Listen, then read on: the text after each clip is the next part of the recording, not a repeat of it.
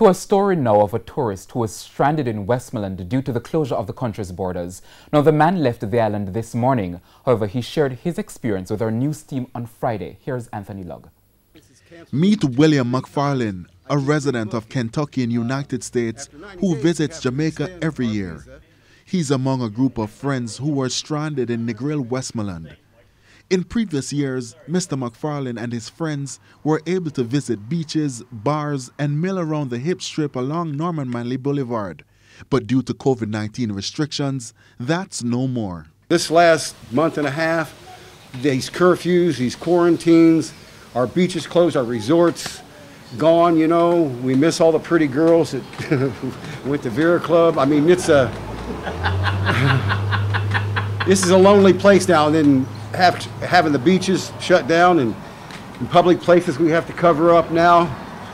In March, the U.S. State Department urged citizens to avoid all non essential travel and advised persons in countries where commercial departures remain available to arrange for immediate return. Mr. McFarlane says he tried, however, American Airlines has canceled me two, three times. I keep rebooking.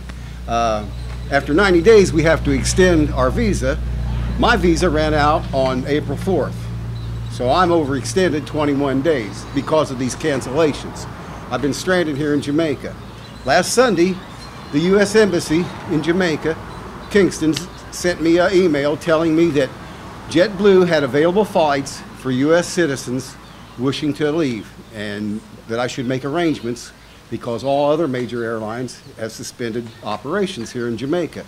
He made those arrangements and was booked on a flight for Saturday morning.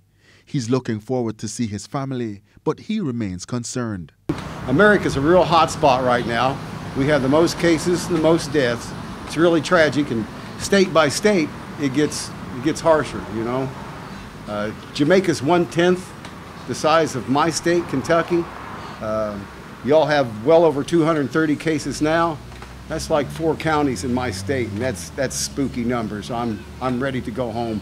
Every year I dread leaving here, but uh, this year I'm glad I got a flight. When I go home, I'm supposed to self quarantine for 14 days. I'll head out to the farm, way out in the country, and I'll hide away for a couple weeks. I got to protect my countrymen too. Anthony Lugg, TVJ News.